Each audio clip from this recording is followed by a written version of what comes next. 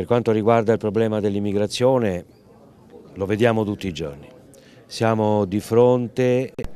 a un evento epocale, di fronte a un evento biblico, sono parole non mie ma usate dal Presidente della Repubblica, da Sua Santità Papa Francesco.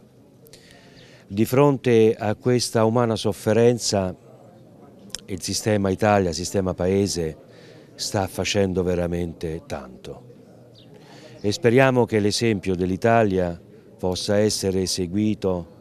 dagli altri paesi europei, ma come si dice oggi, dal mondo, perché siamo di fronte a un movimento di centinaia di migliaia di esseri umani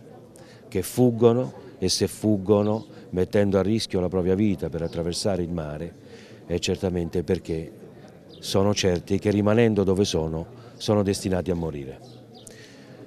In, questo, in questi mesi dell'anno, primi mesi dell'anno, abbiamo una grossa, grossa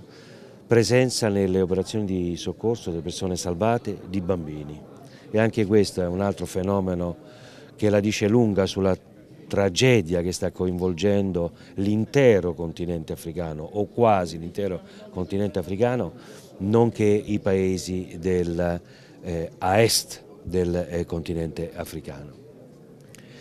Bisogna assolutamente intervenire in massa. È un problema che, ripeto, il sistema paese sta affrontando con tutte le sue competenze, competenze in maniera eroica.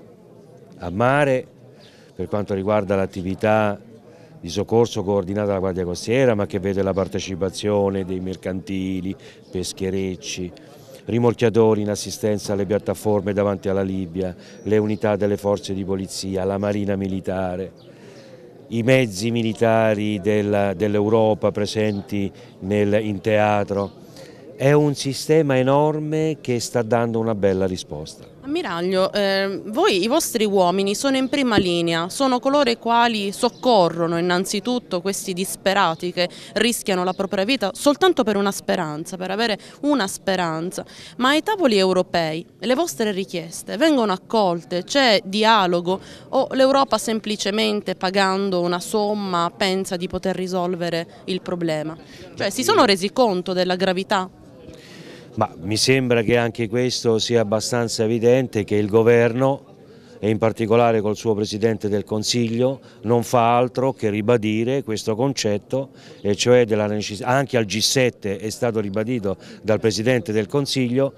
della necessità di, una, eh, di un intervento globale perché il, il fenomeno è un fenomeno globale